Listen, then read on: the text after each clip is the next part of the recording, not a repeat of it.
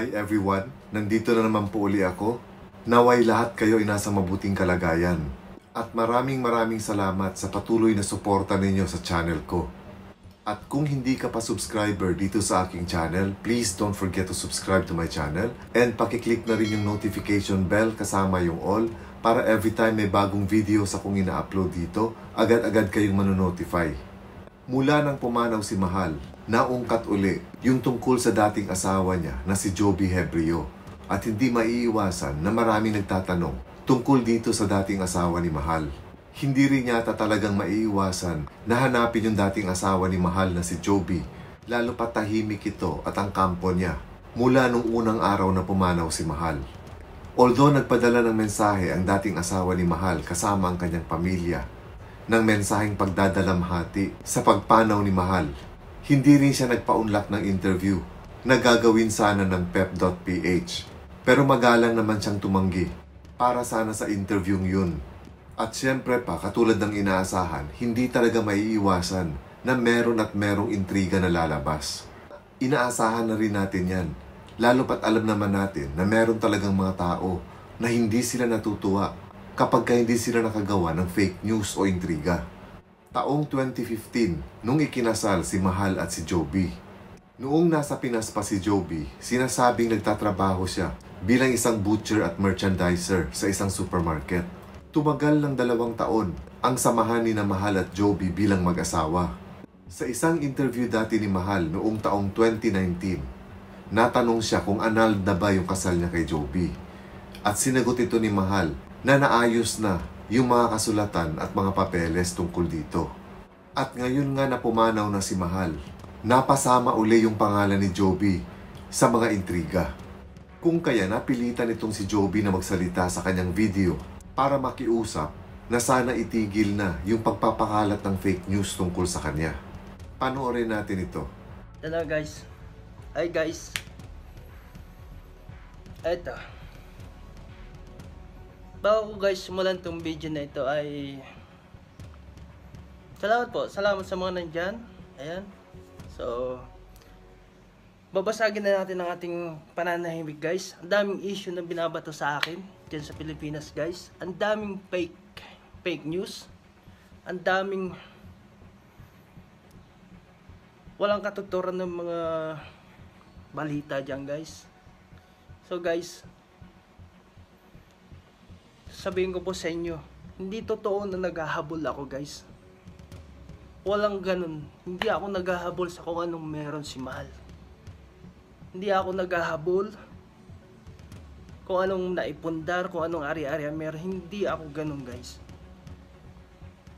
Kaya po sa mga gumagawa ng video dyan, mga fake news nyo po, stop nyo na yan guys. Hindi totoo na naghahabol ako. Maling balita po, mali lahat yung mga ano nila, sinasabi. Intindihin, intindihin nyo muna guys, alamin nyo muna. Ano bang punot dulo? Sa mga vlogger naman makagawa lang ng content kahit hindi totoo. 'Di ba? Huwag kayong ganun guys.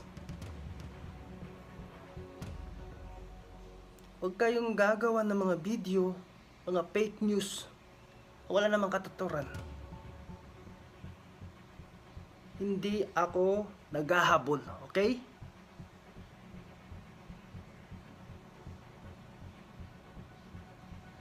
Ang daming nagme-message sa akin, ang daming nag nagko-comment ng pangalan ko, ang daming nagtatag. Kasi ang daming fake news. Ang dami dyan guys. Ah, wala naman akong alam. Wala akong alam dyan. Diba? Hindi ko alam kung saan to nagsimula tong issue na to na naghahabol ako guys.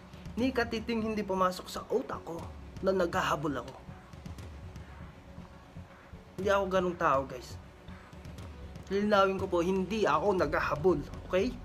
O ano man naiwan, naipundar o an- ano pa man, hindi po ako naghahabol.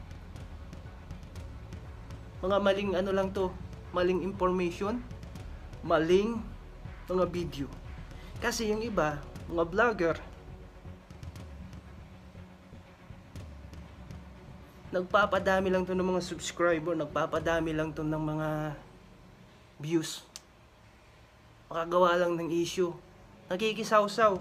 Wala naman alam. Di ba?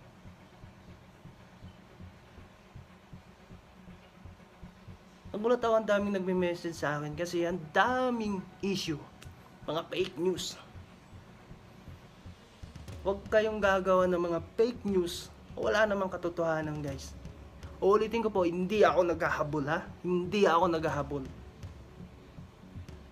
Hindi ako naghahabol sa ari-ari. Ano, ano pa man na naipundar ni Mahal na iwan. Hindi ako ganun guys. Dito ako sa ibang bansa. May nakita pa nga ako dyan naggumawa na nasa Pinas daw ako, etc. etc. Huwag kayong gumagawa ng mga fake news nyo. Ulitin ko po, stop nyo na gumawa ng mga fake news dyan sa Pinas. Hindi maganda guys. Walang naghahabol. Walang ganun. Hindi ako naghahabol kahit katiting. Wala. Gumagawa lang kayo ng issue nyo guys. Gumagawa kayo ng content nyo para sa inyong YouTube, para sa inyong vlog. Na wala namang katotohanan. Gawa-gawa nyo lang yan. Nakikisaw-saw lang itong mga to eh. Wala ka naman alam.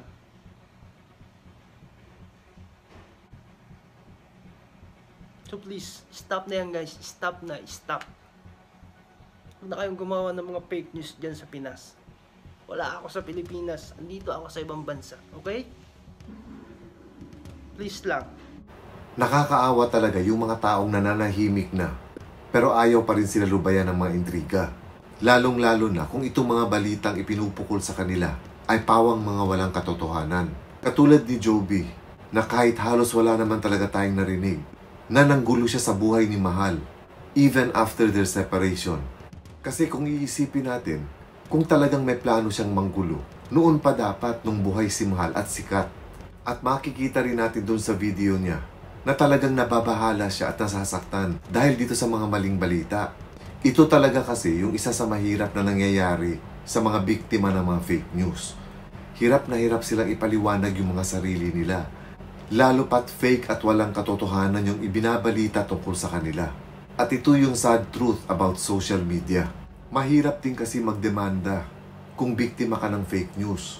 Dahil alam natin, mahirap i-trace ang source nito. Kasi karamihan ng mga identities ng mga gumagawa ng mga fake news ay hindi rin totoo. Ang madalas na nagagawa lang ng isang biktima ay antayin na matapos ang balitang ito o humupa yung balita and then later on ay makakalimutan na ng mga tao. Yung ibang mga biktima ng fake news, ang iba sa kanila hindi nila kinakaya at nade-depress sila.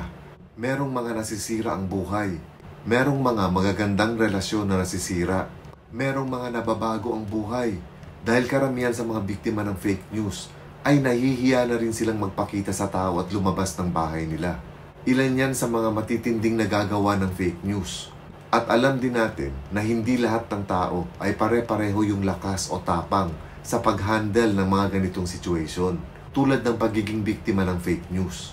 At napakahirap din i-control o mawala ang fake news. Isa ito sa mga dapat nating tanggapin dahil sa social media. Kaya sana pakiusap lang, sana makonsensya itong mga taong mahilig gumawa ng mga fake news. Sana kung gusto nilang kumita, gawin nila ito sa tamang paraan at hindi yung aapa kayo ng ibang tao para kayo kumita. So I hope this clears everything patungkol sa dating asawa ni Mahal.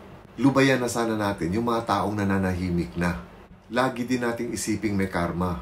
Darating at darating ang panahon na babalikan ka nito.